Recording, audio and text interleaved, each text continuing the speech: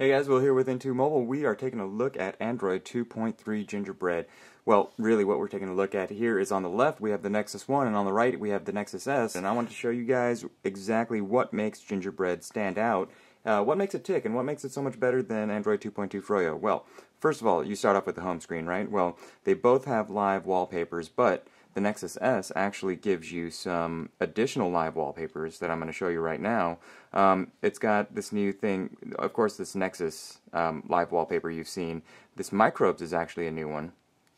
And what it does is, um, where, wherever you, uh, you tap on the screen, it spawns, you can see those little white dots, it spawns food for these microbes, and these microbes gather around the food, they eat the food, they grow bigger, they grow brighter, you know, they separate, they multiply, and then I think, I'm not sure exactly what happens, but they probably die or something, but yeah, it looks like they're eating them, right? I'm just going to put some more food here, and all those microbes are going to gravitate to that point. That is not on the Nexus S.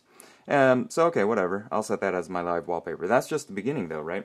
Take a look at the notification bars on top. You'll notice here we have a white, kind of grayish white. It's whatever. It's a light color. It's a light color uh, background, right? And it shows you uh, everything that uh, missed calls, your text messages, uh, voicemails, you know, your email notifications, all that in the notification bar, right? Well, in Gingerbread, you see all the same stuff, but it's got a slightly different uh, aesthetic. You have the black bar up here, which actually um, falls off the edge and looks like it's part of the screen rather than a actual bar that you see on uh, Froyo, you uh, you don't really see a bar. It's just an area where you get notifications. You pull down that area and you get the same notifications, right? Voicemail, uh, app updates, email, stuff like that. Notice also there's a color difference, right? We have the uh, the reception, the signal uh, signal bars here, and the 3G uh, little icon are in white, whereas on Gingerbread, the the reception and the uh, Wi-Fi, as well as the battery, are all in green um, kind of a brighter green than is used on Froyo, as you can see here. If you compare the two greens, the gingerbread green seems to be a little brighter. I'm not sure what that is, but uh, it could actually be the AMOLED uh, uh, display that we're looking at here on the right side. Uh, for your information, both screens are set to full brightness, no auto brightness or anything like that, that just so you guys can see um, what we're dealing with on a hardware level in, in, in terms of difference between the Nexus S and the Nexus 1.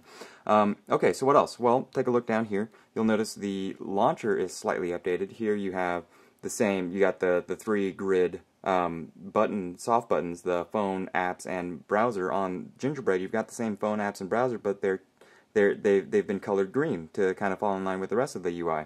Um, oh, and there's the other difference, right? When you turn it off, when you turn off Gingerbread, it kind of has that old school boob tube TV feel, chew, like that. You, you almost expect the sound, the chew, and turning off. Um, that's a cool little feature, and that's what a gingerbread is all about. It's all about these little features that you don't really notice, um, say, for example, in Market, these little features that you don't really notice but actually make a big difference in terms of everyday usability. It's still the same Android market for the most part, right? Yeah. So we have Froyo here and Gingerbread here. The Android market looks very similar. Um, kind of the only real differences are going to be um, the the UI, right? Notice when I pull this bar up, it's a blacker bar, and uh, uh, apparently that that might actually save some power on an AMOLED display because you don't have to power these pixels. Um, not sure exactly about that, but that does sound right to me. Notice search, downloads, and help, same stuff, but different UI aesthetic. It's Froyo here, Gingerbread here. Okay, taking a look at that, good stuff. Um, let's see, what else is there? Ah, and in scrolling. So when I scroll here to the end of the list, it just takes me to the end and it just stops me. No real fancy animations or anything, it just stops me at the end of that list, right? Well, on Gingerbread, it's been a slight, it's been slightly refined, and these are the small little tweaks that really go a long way in terms of usability. As soon as you hit that bump stop down there, you'll see a, a little, little orange. I don't know if it's going to come out on video here, but you'll see a little orange uh, line pop up down there, letting you know that you've hit, you've hit the end of the list. Shows up a little bit right there. I hope you guys can see that.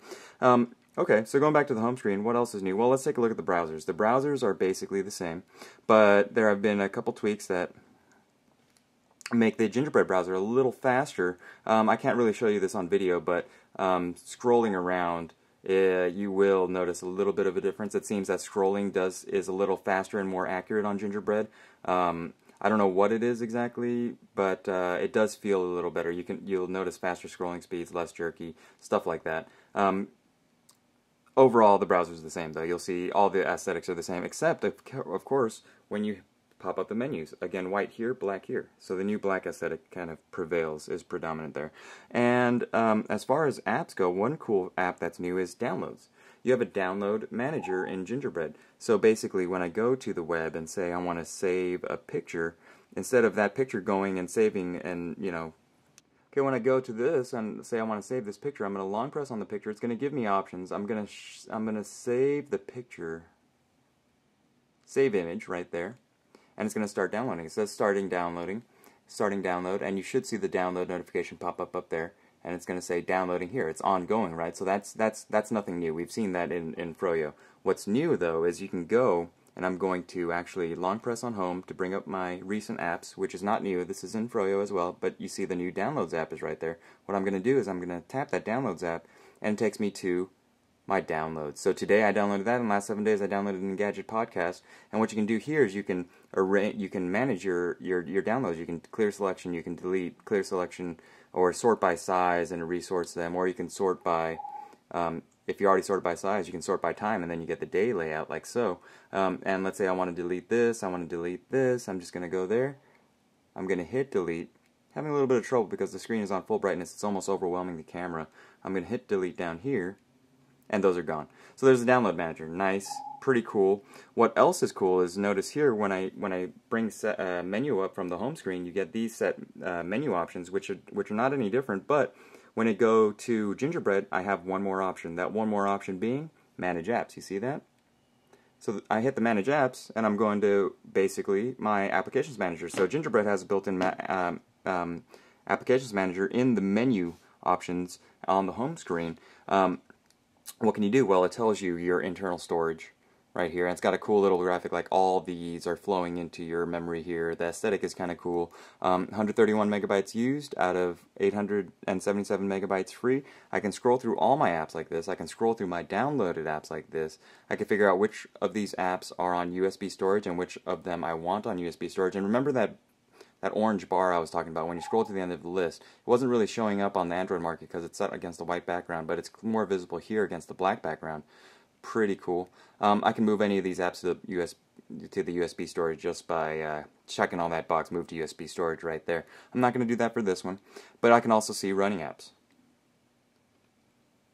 and that's that's pretty cool. Um, and another one of the major changes in Android 2.3 Gingerbread is the text uh, selection tool. Um, before, well, let me show you how it works before. Okay.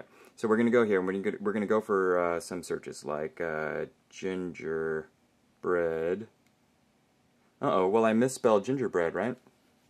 I'll go into this format so you guys can see better. Well, how do I correct it? Well, I can long press, and then I'm going to go to select text, and when I do that, I can drag to select, and I'm going to correct it, right? Okay, well, if we do that, here, notice the new UI. Um, again, more orange and black, darker colors, right? This is all trimmed in white. This guy is all trimmed in black with the orange words. Well, here we go. So I'm going to do gingerbread. Well, of course I meant gingerbread, right?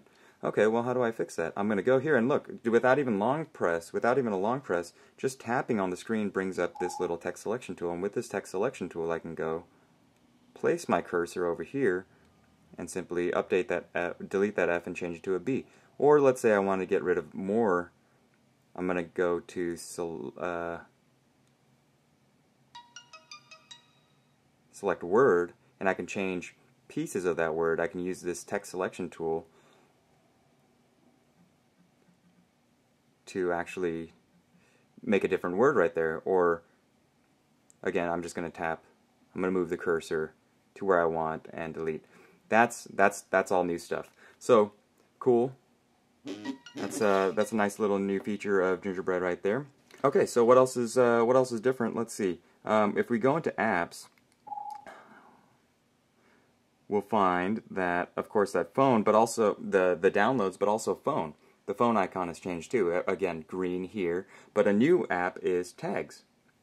Okay, what is this tags? I'm going to delete this just so we can go back to um, just go. We can go back to stock. What is Tags? Tags is a new uh, is a new Google uh, uh, NFC app that basically helps you read NFC stickers like this. Okay, so Google sent us this NFC sticker. This is part of the Google Hotpot program where uh, businesses will get stickers with NFC uh, chips inside. You put this on your business window, and when people come in with, say, an Nexus S or any smartphone with a near-field communications chip, an NFC chip, you just basically go up to the to the sticker and you tap it. And as soon as you tap it, it's going to wirelessly read the chip, and the info on the chip is linking us to a YouTube video. And this YouTube video is going to pop up in the, well, there you have it, a brand new YouTube player. Um, I'll compare that. And right now, what, what do we have here? We can uh, we can go to more options to uh, flag, share, save, copy the URL. We can like it or we can down thumbs it. I'm going to like it right there. I'm going to go on the up thumb. And uh, you have all this info down here. You have the up thumb, sorry, right there. You have all this info down here about the video, and you can swipe through the video. You can click on the tab, or you can swipe back, whichever, right?